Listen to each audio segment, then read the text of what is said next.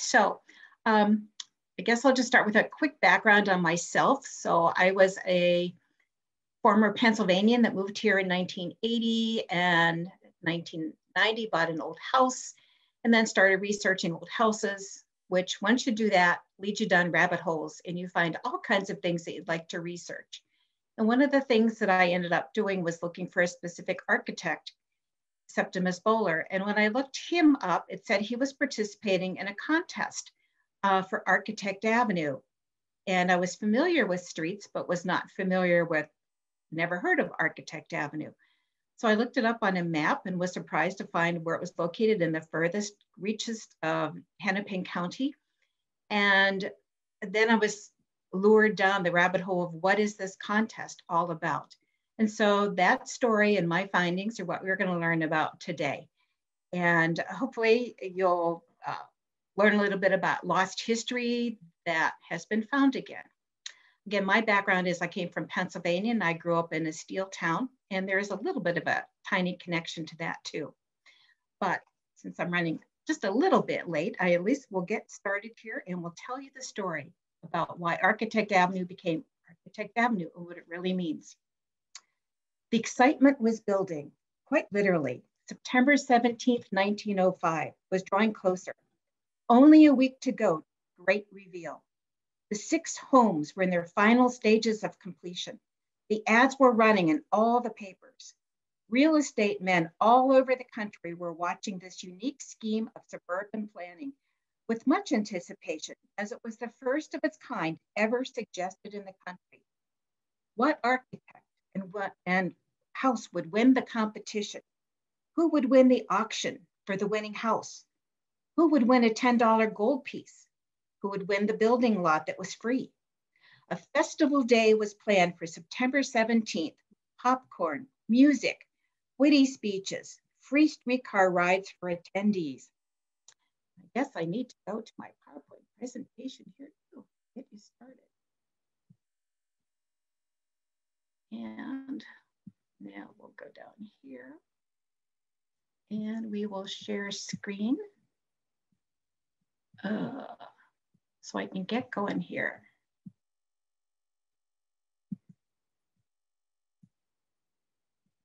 So I'm calling this uh, presentation, uh,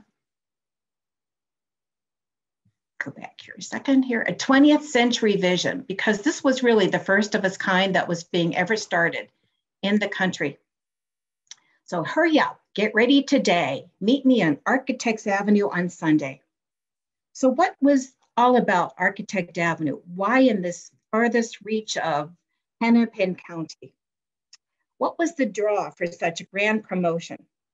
It was only a tiny composite of people. It was a composite of Scandinavian and German farms, a burgeoning little amusement park, and an industrial plant on the northernmost part of Hennepin County.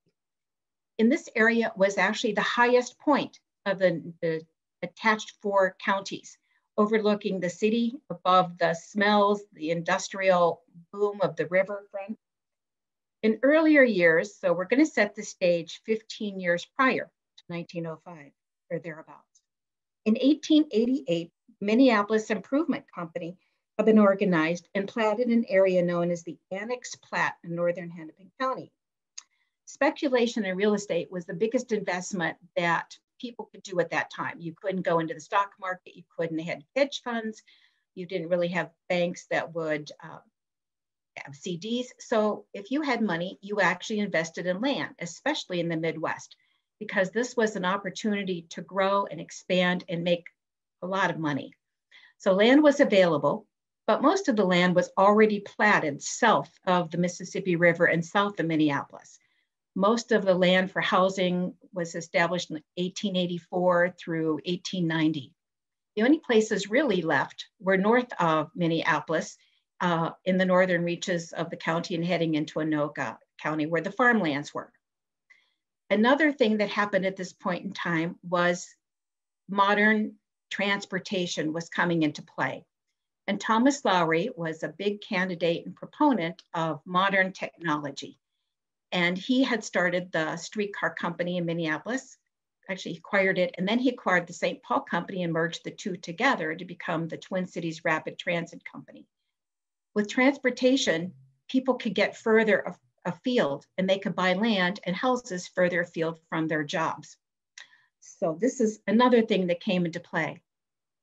The, there was at that time a little village called Columbia Heights, was about 20 residents, 20 houses, about 100 residents, and a few stores.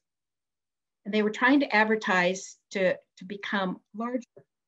And so they even advertised that they needed a butcher, they needed a dry goods store, they wanted a shoe store, and a meat market.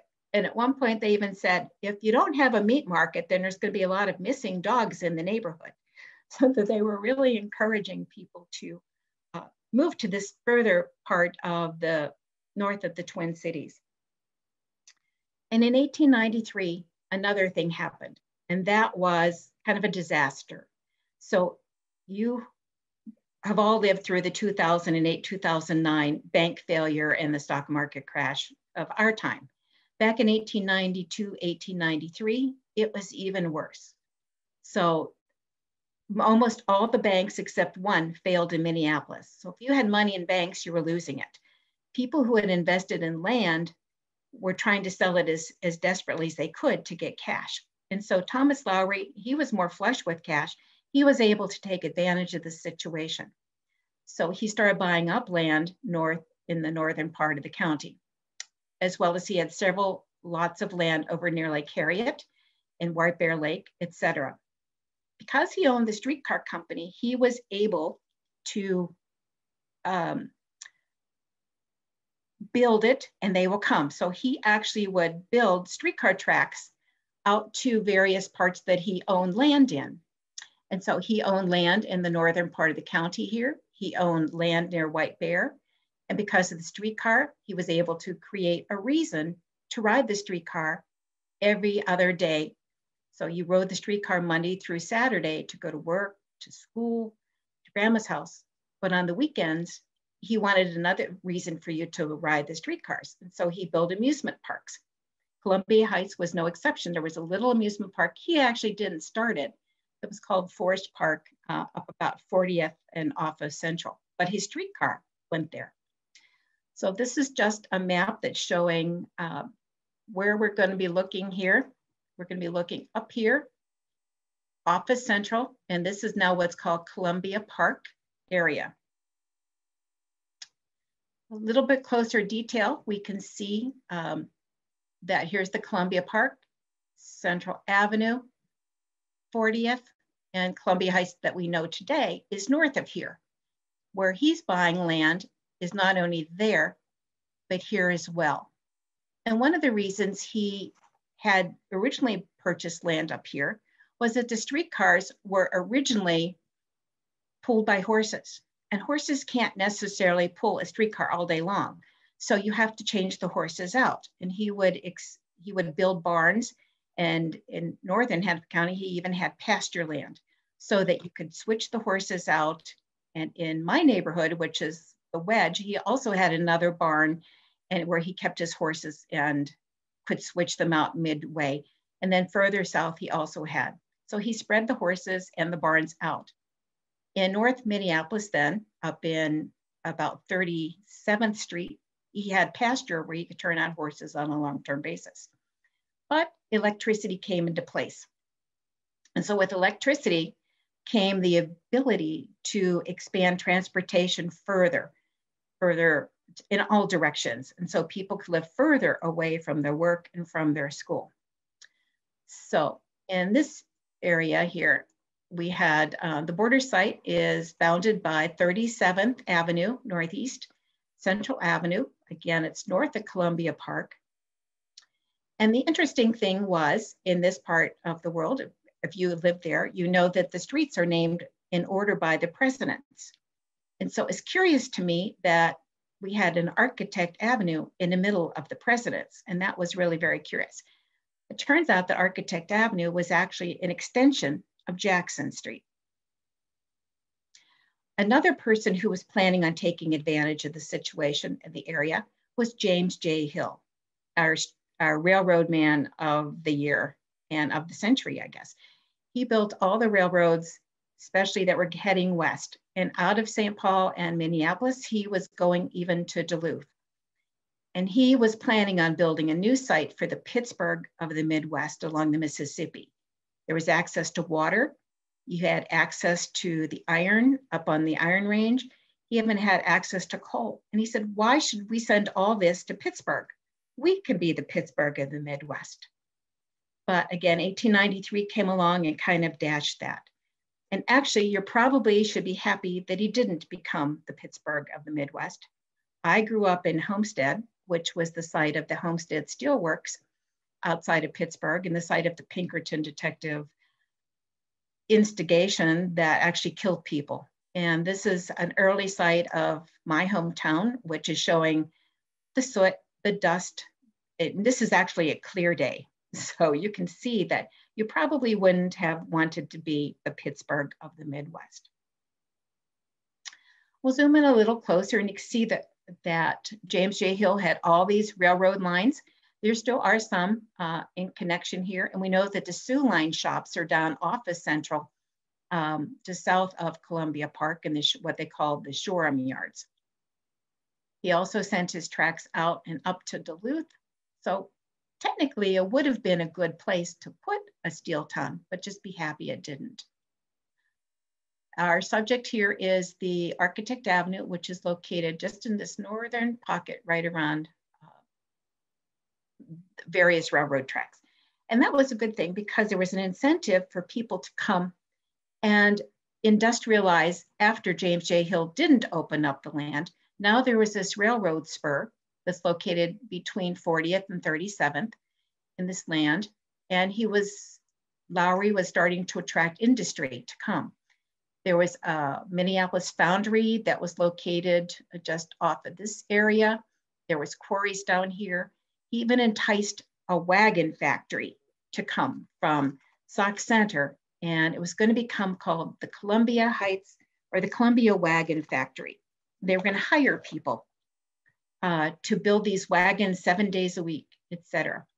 But in 1905, things kind of didn't go that way. We had the invention and more and more people available to buying automobiles so that wagons weren't necessarily the big commodity that they thought it was going to be in the United States. They also didn't have a lot of people to do the work.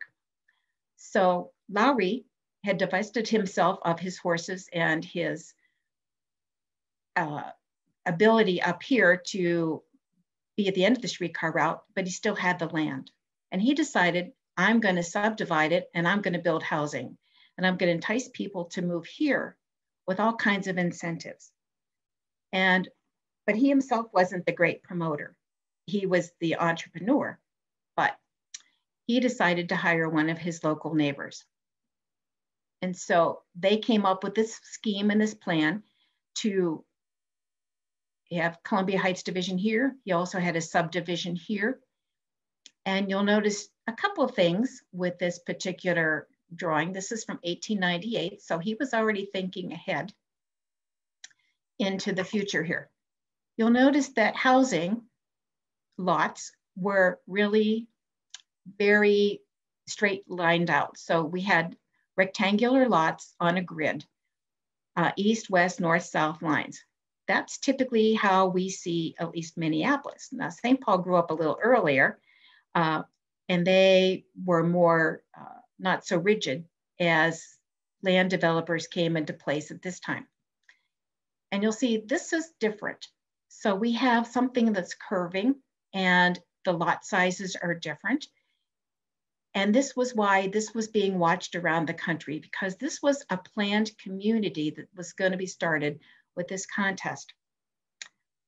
But it wasn't a planned community like a company town like Hershey. This was being planned as an individual grouping uh, by the big marketeer named Walton. Just a little close-up shot here. And even side by side, we can see that we've got the traditional grid system, and then we have this kind of unusual shape to it. It's a picture of Thomas Lowry. Again, he was basically a real estate investor. He was innovative, he was a visionary, and he operated, he was born in 1843, and unfortunately he died early at 1909. But he hired his neighbor, who was known as a well-known marketeer. This was Edmund Walton.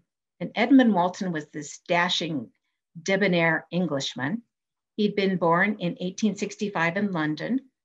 He came to America in the 1880s, married a lady from Missouri, and then he moved to Minneapolis. And he quickly, um, whether he brought a fortune with him or not, he was very much an entrepreneur and really had ideas that really meshed with Thomas Lowry, his neighbor.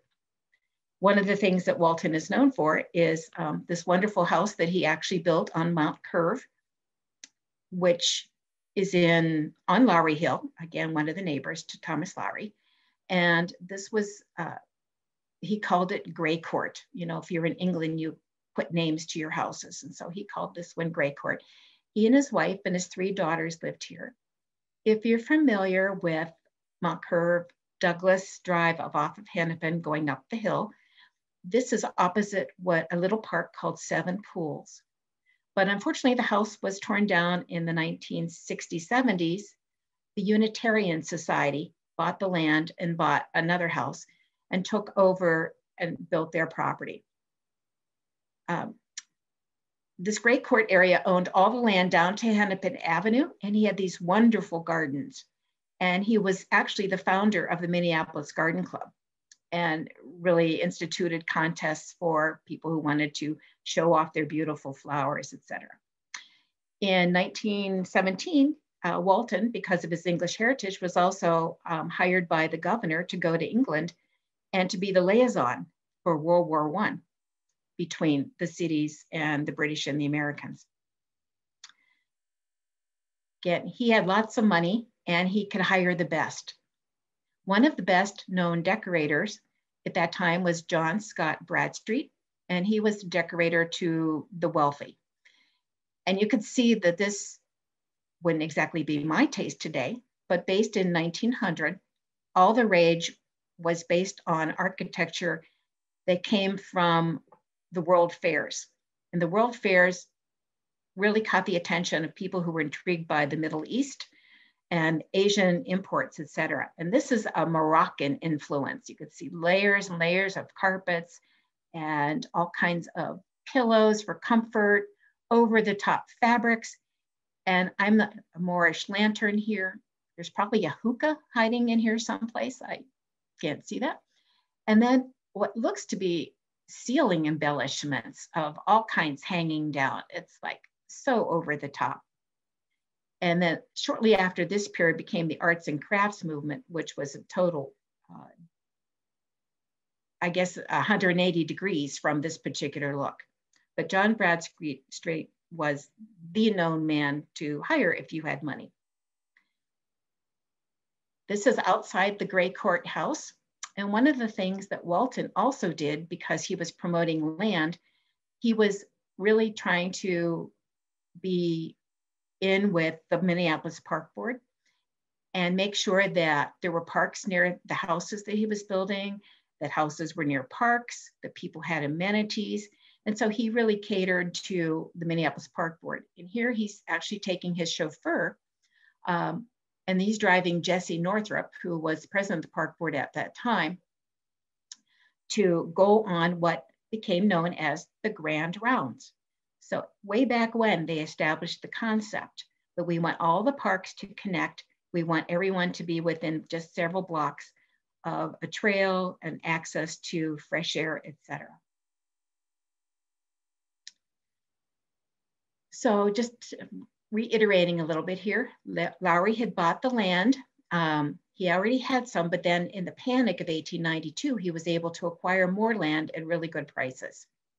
He created the um, Arcade Investment Company in order to start selling that land.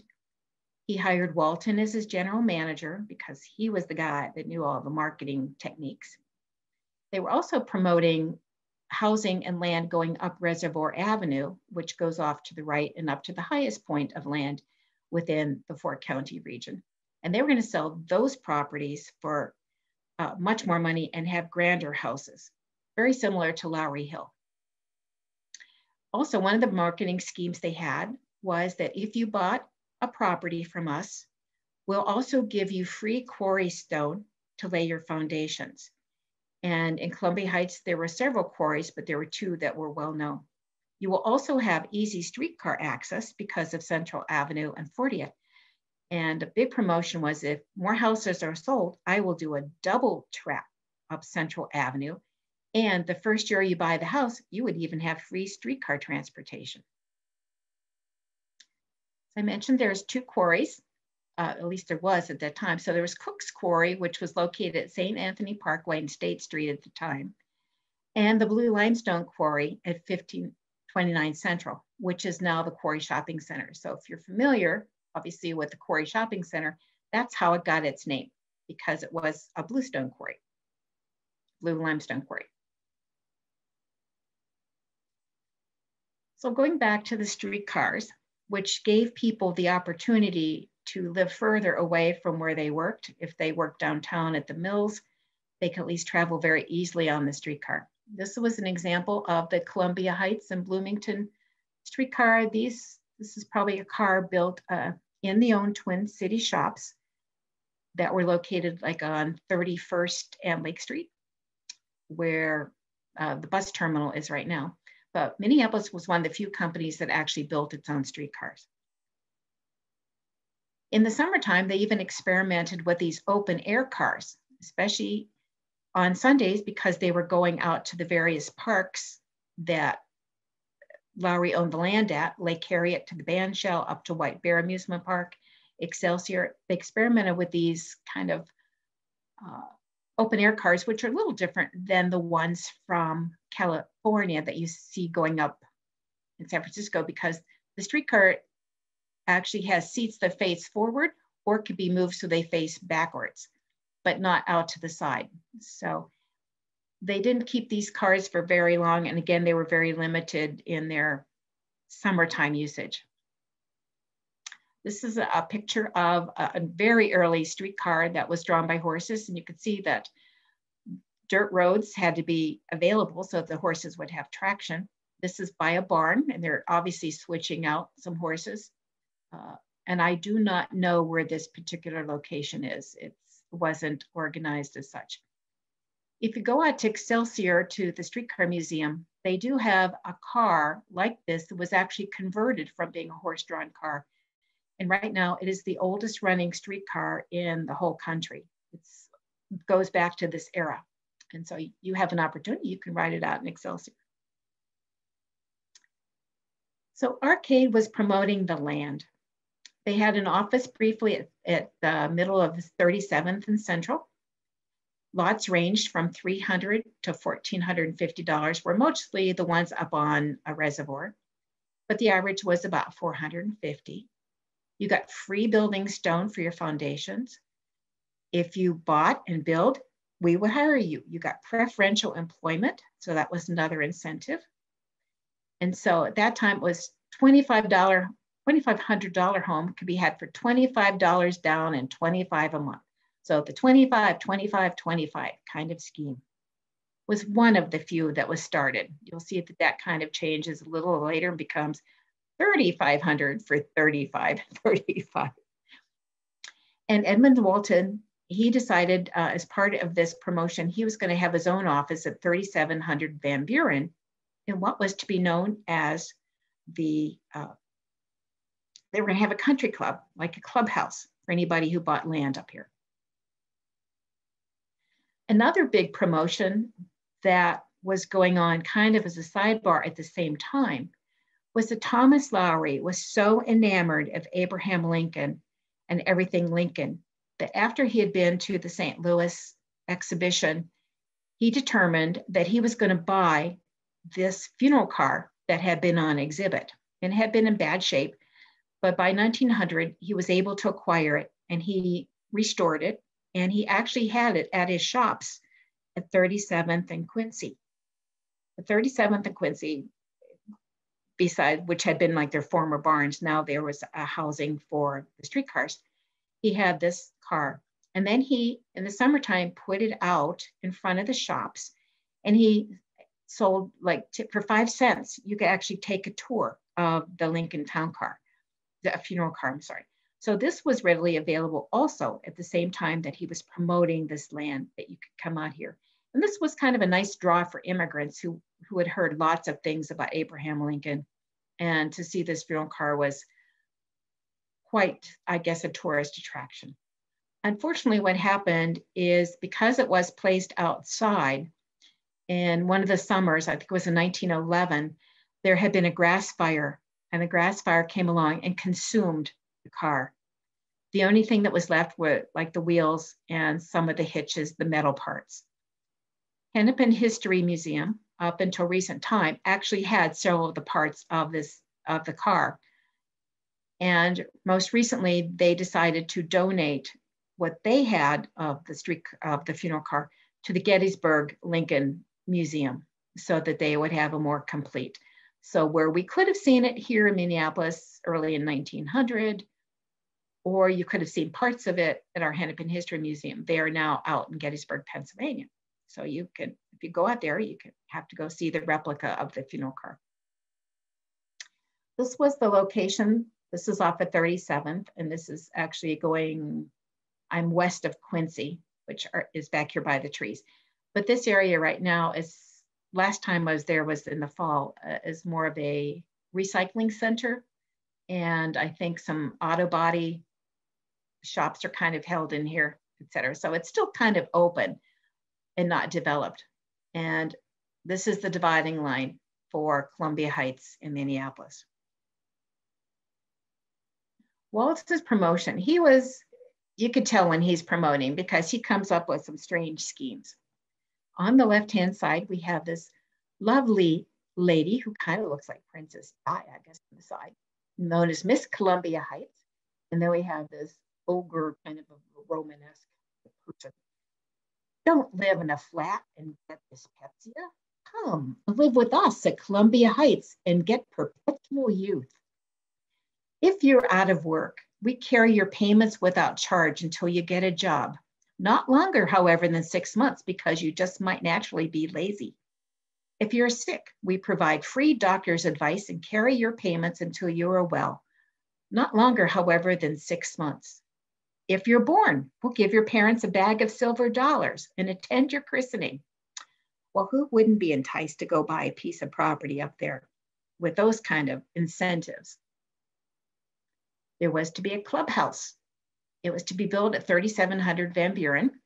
It was supposed to be Spanish revival style, which in 1905 was becoming one of the most popular styles, along with colonial style in America. It was going to house the offices of the Cross Country Hounds, the North Country Club, the Northeast Country Club, and the offices also of the Arcade Investment Company. There is a home today at that location, but you'll see that it's not in the style that was being planned.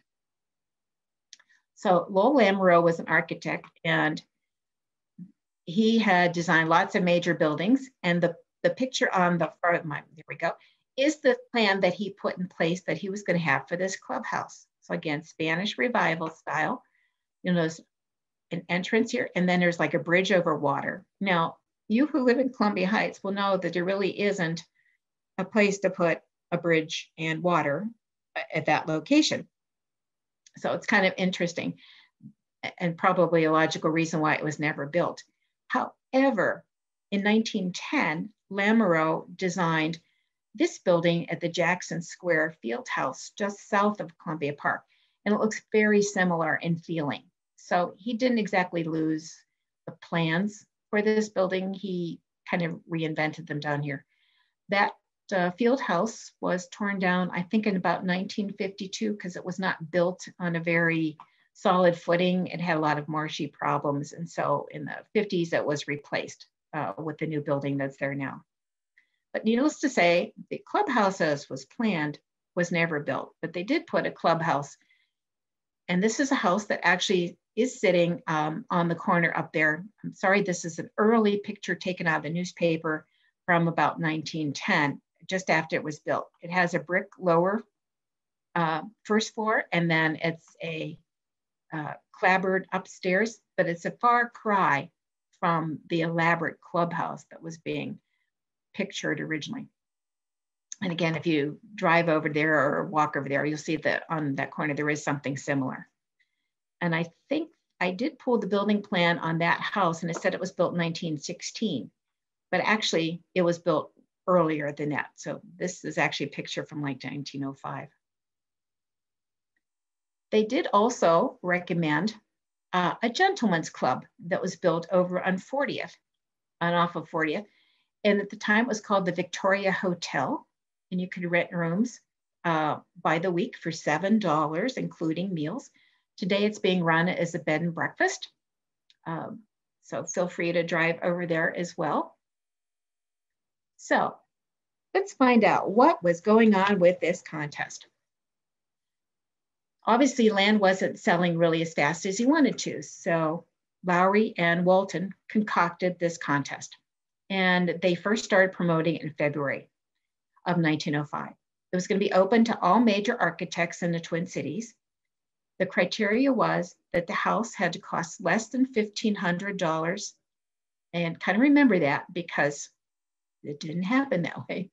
Had to have seven rooms, include landscaping, be designed for efficiency and beauty as well, as much beauty as you could put into it uh, compared to a large house. And then the winning house was supposed to be auctioned off that day.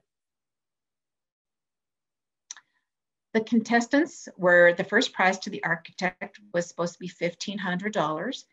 The architect who had built the most complete cottage for 1500 combining luxury, elegance, utility, and comfort would win the day.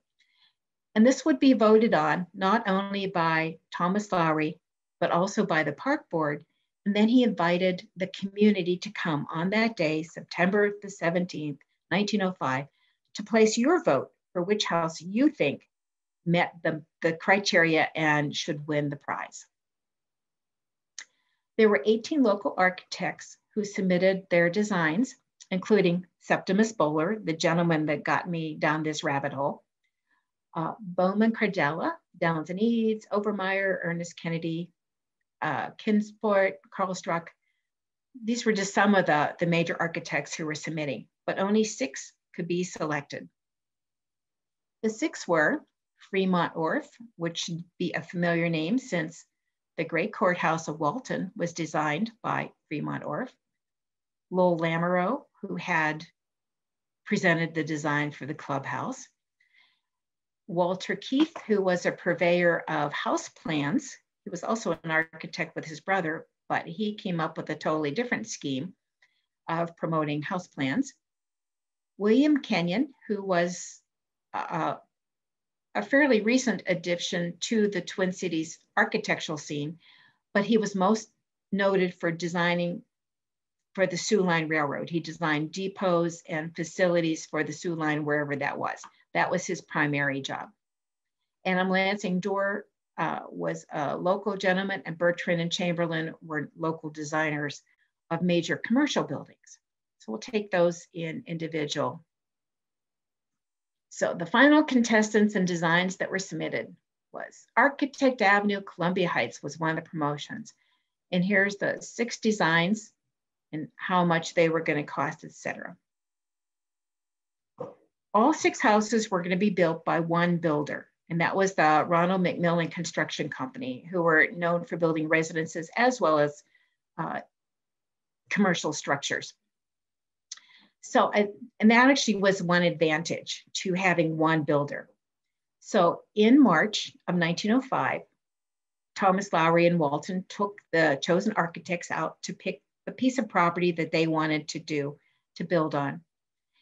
And then because there was one builder, he could consolidate workers, he could consolidate supplies, and he could simultaneously be building all six designs at one time with the target of being completed by September 17th. Adam Lansing Doors, that was a local uh, person who built fine residences and hotels. On the left here is a house that he built on the west, on the east side of Lake of the Isles at about 22nd Street. Uh, the house today has been painted white, but it was known as the, the Keys residence. He also did commercial structures such as the Continental Hotel downtown, which is at about 12th and LaSalle. And today, it's more of a housing, uh, low-income housing uh, for, for people, but it still does exist, unlike a lot of the houses and structures of other architects. This was the house that he proposed. So Adam Lansing Dorr proposed this little bungalow and it was gonna have like diamond shaped windows, little dormers. It was on top of, a little hillside. And you'll notice here the prices, we went from $1,500, we're now kind of at $3,500 as we're promoting. This is how the house on the right looks today. So it's very similar. Uh, the porch has been enclosed, but it still has these little pedimented uh, details. Uh, there are still diamond paned windows and the recently there have been some additions to the back of the house, but by and large, this house looks very similar to the way that it was originally conceived and built. Um, about, but this was one of the two houses that were not complete by the time that of the September 17th visit. So you'll actually see here, there's like a horse and carriage and there is lots and lots and lots of people. So they had great weather, but the house here was, the dormer wasn't complete, et cetera. You notice there's no trees. It's pretty open land here. Um, and so this picture was taken uh, during the event and became one of the houses that was still unfinished at the time, but you could still tour it up to a certain point. Walter Keith Company was another one who designed uh, plans for 3609 Architect Avenue.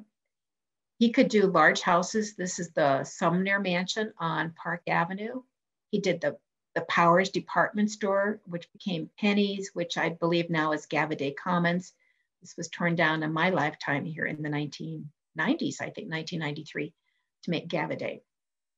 But where Keith really made his mark is that he and his brother decided to come up with a monthly magazine called Keith's Home Builder in that he would put plans for houses.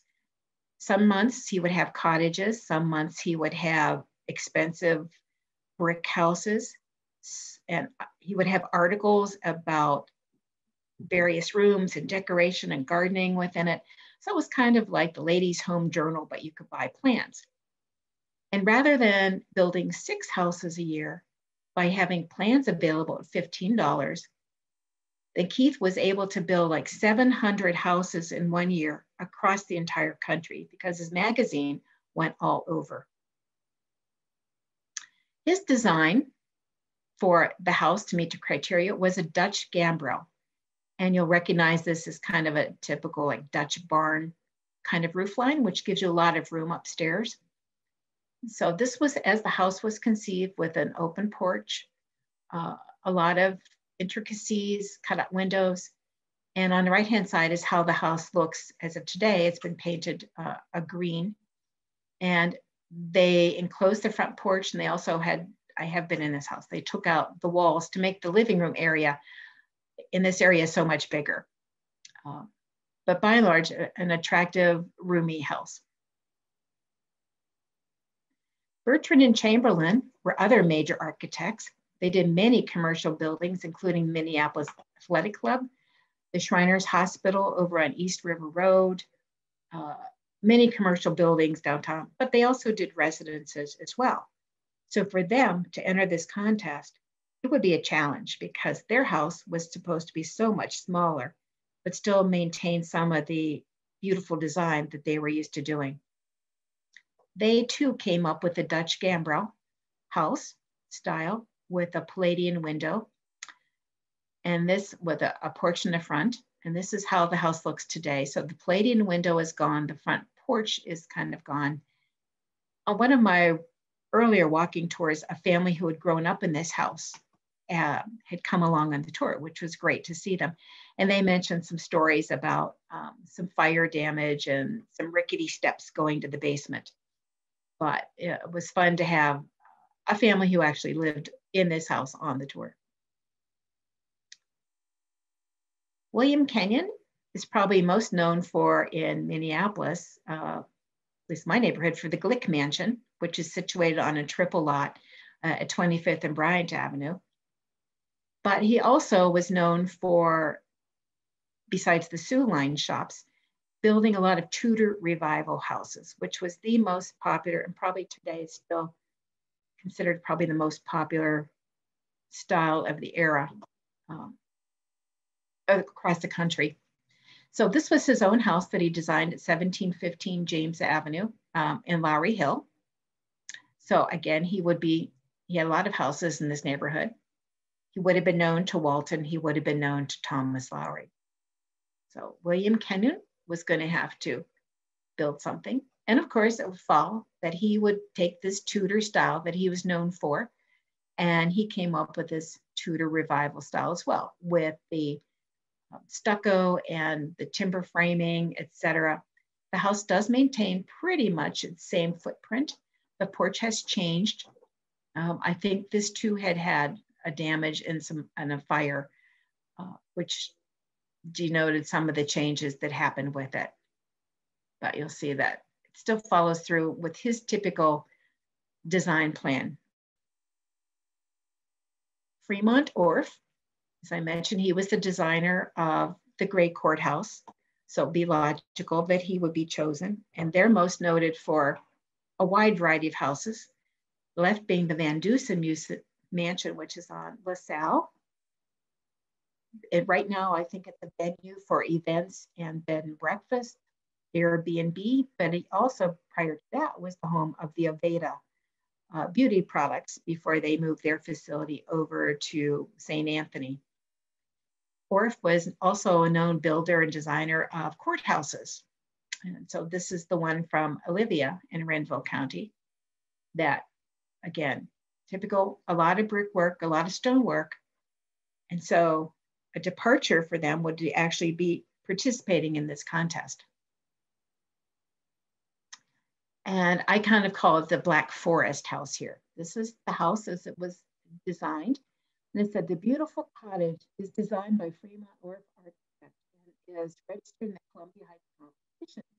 The house is planned with an eye to the picturesque situation in which it will be placed upon rising ground surrounded by many trees. This house is actually placed on the corner um, at 36th and Architect Avenue. A couple things have changed in the interim. Originally, it was built with what we call a cat slide roof with this dormer and an open porch and like an ingle nook in this area with a fireplace. At some point in time, uh, a resident took out the cat slide roof and built an enclosed porch, but it still maintains a lot of the beautiful charm of the woodwork and the details that you see. And I guess I would call it kind of a, a Black Forest kind of cottage. Lowell Lamoreaux, who was supposed to design the clubhouse, um, was well known. He was a local born and bred person. Uh, his family was one of the first pioneers to the cities in the 1850s. And he designed many varieties of buildings from the original HCMC, which hospital, city hospital, which was then torn down to make uh, what we know of today as the hospital. He did the Central YMCA, which is still in existence, and then many, fine residences, including this house, uh, um, Hotel, that's up on Mount Curve, in not too far from what was the Thomas Lowry Mansion as well. So for him, another departure in size was to build a smaller house. Um, and you can see this is how the house was designed with a screened in porches. Originally, and this one sits up on the hill as well, the entrance was off to the left. A later resident built more river rock, and actually I think it's a very charming addition and centralized the open door uh, to the house to the screened in porch because it really anchors the house to the property and really has kind of a nice feel, or it's not too far. At the time when it was built, it would have been actually the only house overlooking down the hill to Columbia Park. There's now a house next to it. Um, get my mouse here to work. Over to this side that's actually on the corner that overlooks the Columbia Park and the railroad tracks. Again, just a nice, charming, but very much a departure from the grand houses that would have been built by him. So one of the promotions was this kind of drawing that you can oversee all six houses. So we're actually on the west. This would be, I think, 36th Street, and we're looking south to the to the Twin Cities and to Columbia Park. So this is Architect Avenue as it curves up the hill. This is the Orff House, the Keith House. You can barely see it here. The Dorr House. This is the uh, Chamberlain, Bertrand Chamberlain House, the Kenyon House, and then the Lamoreaux House is here. So they're all six really close together. They're all very walkable so that uh, when we're done, you, we're gonna send you out a handout that you can actually go and follow and go see all these houses for yourself. Another unique feature about this promotion was that at the time it was being built, the park board was very much involved in creating the grand rounds and connecting and acquiring land. One of the things that they were promoting was to follow the contour of the land. Frederick Law Olmsted built Central Park. He also had two architect friends, which were Cleveland and Manning, Warren Manning, who were from out east, who were hired by our park board in the 1890s to come to Minneapolis and help design the park system. And they incorporated this new concept of landscape design and development, which is follow the contour of the land. Don't level the land. Go along with the curves, as I had shown you originally in the original slide. Instead of doing square grids and properties, let's let's build something a little different. And this is another reason why it was being hailed across the country as a unique experiment. And you could see that the actually it follows this contour. One of the things they decided to do in here was to build a little lake of pleasure. And it's difficult to see, but in this area between the houses is going to be this little lake that you can ice skate on in the winter time. You can canoe with your sweetheart in the summertime you can just take walks around it. So this little lake of pleasure was also one of the intriguing promotions. Also on one of my early tours, there was a lady who said, well, what about the boulders? You didn't say anything about those. And I said, well, what about the boulders? And she said she had understood that there was a boulder placed in front of each of the houses. Well, to denote which ones were actually part of the contest why I only ever found three and maybe a fourth one. Uh, you really had to look hard, but this one definitely is in front of this house and this one's in front of the Orff house. So they're placed there for a reason. There is another house on the block that is surrounded by multitudes of big boulders. It's not one of the contest.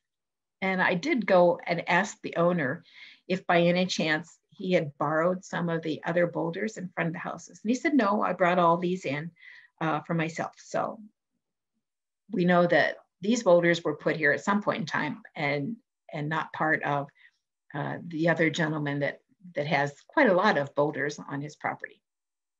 But I like the story and I, I'm going to incorporate it.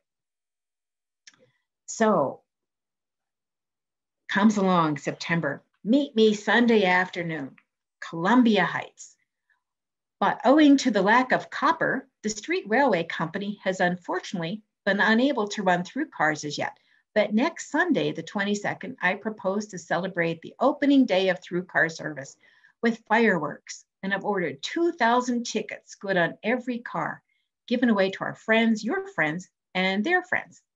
After that, we'll have a through five minute service and the quickest and best in town.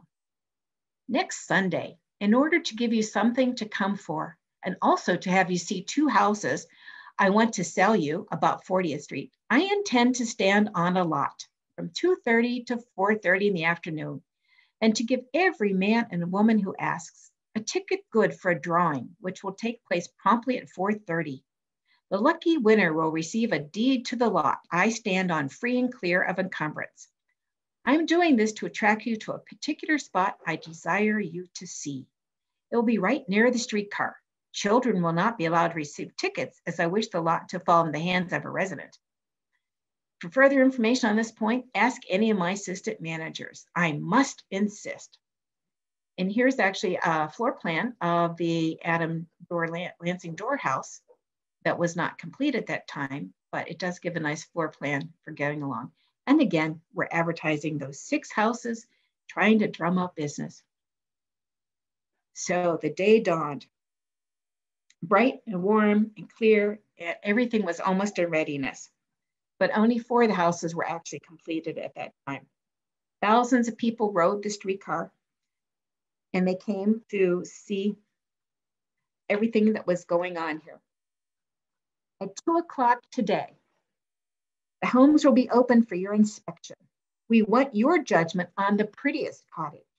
At two o'clock today, our numbered flats will be ready for distribution to make someone the lucky owner of a lot number six and block 85, which was actually a couple blocks away. At two o'clock today, music will commence, popcorn will commence to pop, and lunch stand will be open for business. At 3.30, no more plots are distributed. The drawing will take place and the lucky lot owner will be required to make a speech. Come and be the lucky man. Now, he didn't say anything about women, but he did say you could be the lucky man. See for yourself. Come and have your picture taken. At four o'clock, everyone will be asked to step over to the house he likes best and deposit his vote with the teller. So in front of each house, there was supposed to be a teller in a box and you put your vote in the house that you thought met the criteria. The land not being counted, nor the city water, nor any of our other various improvements. Be sure and come. I expect 5,000 people. It will be a gala day. Never were such beautiful homes ever built for sale before. They have been most carefully and splendidly built. They are all experiments of the best work of the six best architects in the city. They're all different in design and the use of materials, and they're all built so that a lady can be her own housekeeper. Oh, that's a real draw. Terms of sale. We will finish the houses to the most minute particular, including such a heating plant as you may want, and sell each house for $300 down $30 a month, including interest. But never mind the price, bid the house if you want it. You will never get such another chance. The average size of this lot is 70 by 150 feet, and each house will have city water and electric light. So which one was everybody's favorite? And I'm actually pretty sure that they actually didn't have the auction because several of the houses were still for sale uh, a, a year later. So I'm going to ask you to vote based upon the information that you see here for uh, houses one through six which I will put the pictures up so you can have uh, a look here. So we have Lamoreaux's Country Cottage on the hillside, Kenyon's Tudor Revival, Orff's Forest Fantasy, Bertrand Chamberlain's Four Square uh, Dutch Gambrel also, Keith's Gambrel, and Dorr's Bungalow. So house one, two, three, four, five, six. And I think you can put your um, tally into the chat box. Is that right, Will? You're going to do that for us and tally up the chat box? Yep, if everyone uh, is able to uh, put their uh, answer in the chat, that'd be great. So we will uh, give you some time to pick house number one, two, three, four, five, six. Do, do, do, do, do, do, do, do, do.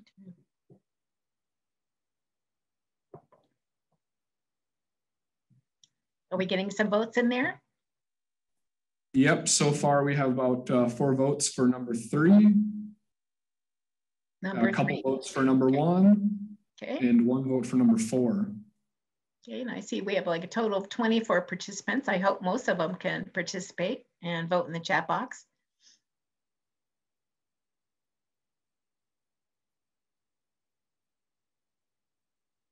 I'll give you another minute to pick again. This was uh, Lamoreaux's house. We have Kenyon's house, Orff's.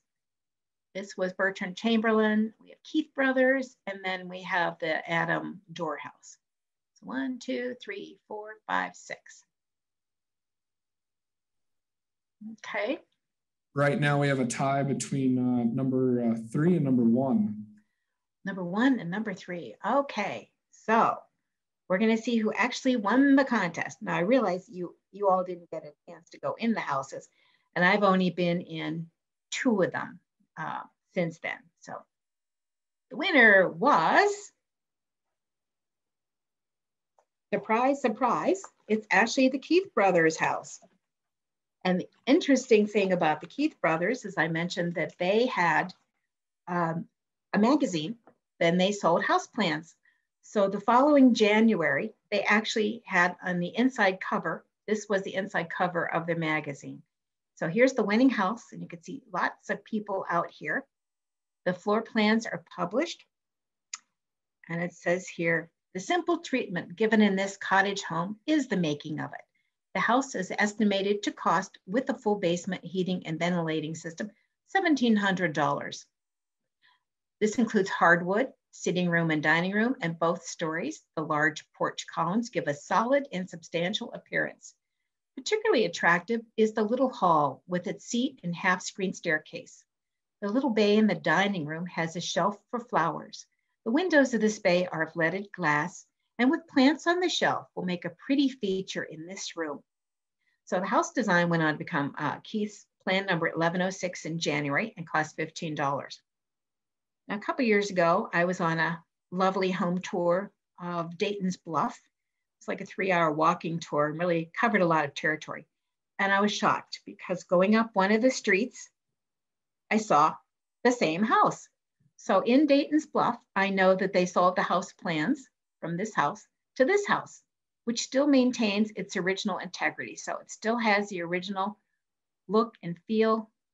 And about two weeks later, I went back to the house and knocked on their door and introduced myself and handed them a copy of my research report. And they let me come in, and even the interior is original to the plans that were originally outlined. And he says, Oh, I'm so happy you came by. You solved our problem. Our neighbors were always insisting that we had a Sears kit house. And I said, no, you have a Keith Brothers house, which was actually better because it was local. So um, I'm hoping to go back, but if you are out and about touring, you will know that on Dayton's Bluff, we do have a similar matching house. So this was the Orff house was actually the second prize house. And it's no surprise that you all picked this because every time I do a tour, this is everybody's favorite anyway. So, and without having been in it, you, you did well here. Um, there was a lady, Mrs. Charles Grosjean, who actually won the $10 gold piece, and a gentleman named John Russell, who was a foreman tinner at the Soo Line shop. Soo Line shops actually won uh, the free lot that was given away. And um, I think he ended up building a house, but then he sold it later. So he liked that pretty well as well. And so with uh, the tour and everything that was going on after the promotion, there was obviously a big unprecedented demand for lots at Columbia Heights. The eyes of the world are on Columbia Heights. Take the streetcar out. Prices are going up. Come out and see. So he wanted to make sure that he took advantage of the situation. And Edmund Walton, again, was this you could just about tell when he was writing the script because he had all this good stuff put in here. Uh, put in, we put in city water pipes, connect with General Electric's company waters, wires, give you stone walks to the cars, curb and gutter in the streets, and a beautiful park to look at with the best streetcar service in the city and the finest views. Again, here's that house that was incomplete. And then this is uh, a year later. We still have two houses. So here's our main Keith Brothers house. We have the Dorr house, and you can just about see the shore of the lake. So they actually did the lake or pond. The beautiful house on Architect Avenue, the one facing the Lake of Pleasure, which is this one, is the only one left unsold. It's a model of comfort and beauty, built on the cottage plan, all polished woods, all polished floors, except for the bathroom, which is tiled with the finest porcelain and silver plumbing fixtures, pipe for gas, wired for electricity, and a great big, beautiful basement that is a wonder. Uh, our McMillan contractors built this house, which was designed by A.L. Dorr architect. It was well sodded and bedded with flowering shrubs. Size is 90 by 180 feet. Again, when you go out there, so you'll notice, obviously this was in farmland because there are really no trees. They're just freshly planted trees at this point in time. This was an ad in 1908 that shows changes from the rolling prairie to fine residence section in just three years. So you can see several of the houses. This is the Orff house that you voted for in the Keith Brothers house. And again, this pond or lake. Well, that's what it looked like then. This is what it looks like now. So it's all filled in with grass. Architect Avenue with this lake of pleasure has been kept in its present perfect condition by the Columbia Heights Company. Beautiful flowers and flowering shrubbery adorn the banks of the lake in the summer, and in the winter, skating parties are in order every night.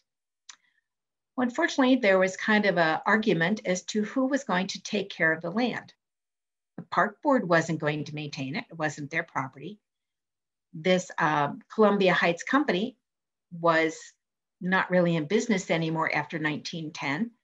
And the residents here, this, whether it was starting to fill in by itself or whatever, I suspect it wasn't very deep.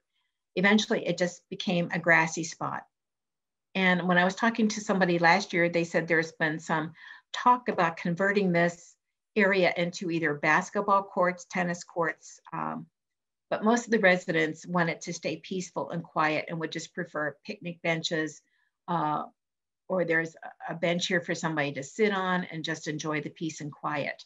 Um, personally, I would like to see a boulder and bring one of those over and a plaque that talks about this historical view that was happening just a little part of Hennepin County that was being watched by the world. And again, this is the winning house. Uh, I took a picture of it on my first tour. It was blue and white, and now it's this dark green, which actually blends in the neighborhood much better. Recently I acquired some streetcar photos. This is called the PCC car, which was developed uh, after World War II and was running in Columbia Heights, going out to 37th and 40th Street to the amusement park as well. Unfortunately, that we had one of the finest streetcar systems in the world, and with several things that converged on it. We, after 1954, we no longer have a streetcar system. But who says, maybe we'll come back to that. We also might mention uh, a little bit about redlining because in 1930s, uh, the government was putting forth uh, a new concept called the Homeowners Loan Corporation, which was seeking to encourage home ownership in the country, offering mortgages like Fannie Mae loans. Previous to that, if you wanted to buy a house, you either saved money for yourself or you borrowed from a friend or took a mortgage from an investor. Uh, banks were not necessarily in that business. But with the coming of the depression, et cetera, the government decided as part of the project, they would encourage home ownership. And they designated areas as being blue, uh, super place to live. You know, our mortgages are going to be paid for, you know, no problem there. And the next category down was green, which was, yeah, pretty good. We're going to trust people to pay back our mortgages. Or you could have yellow, which, well, that's marginal, might require more people to, to build, uh, to put more pump down. And definitely if you were in a pink or red area, we weren't going to give you a mortgage. Very unlikely. And then on the various maps and within the cities, they posted these descriptions. And for 1930, blue status was given to Architect Avenue with this description. This small area is populated by salaried people of moderate means. The homes are constructed of frame and stucco with stucco predominating, mostly small single homes of one and one and a half story houses. Some rehabilitation is necessary because now these houses have been out here about from 1905 to 19, about 25 years. The houses range in age from 15 years and in cost from 3,500 to 5,000. They're practically all owner occupied. Values are fairly well maintained in this district, the depression shrinkage being about 30% and recovery 40% of the drop. That was after the depression. The Columbia Park and Columbia Municipal Golf Course immediately north, which should really be south of the area, are favorable factors. And I used to work, volunteer at the streetcar. So I used to drive the Como Harriet streetcar um, and out at Excelsior too, which is why I would encourage anybody to go out there and see it. So I wanted to thank you for uh, participating and hanging in there and voting. And I would encourage you to actually go out and take the handout that we're going to send out to you and go enjoy a beautiful day. Take a picnic, go sit in a little park, and learn more about Columbia Heights because this is their anniversary this year. Thank you so very much. Oh, thank we you could open it for questions if we want to. Yeah, and then uh, and then a few things earlier this year, we had a uh, presentation with Aaron Isaacs of the Minnesota Streetcar Museum. That's on our uh, YouTube page. Uh, that was a lot of fun uh, visiting uh, down Central Avenue with the streetcars. Um, and then, yeah, if anyone has any questions, I know someone emailed me a couple days ago. their name is Nicole. They said um, their father lives in one of the houses still, and it was her, uh, their grandparents' house way back when. Oh, great. Um, someone in the chat, uh, were there any restrictive covenants associated with the homes on Architect Avenue?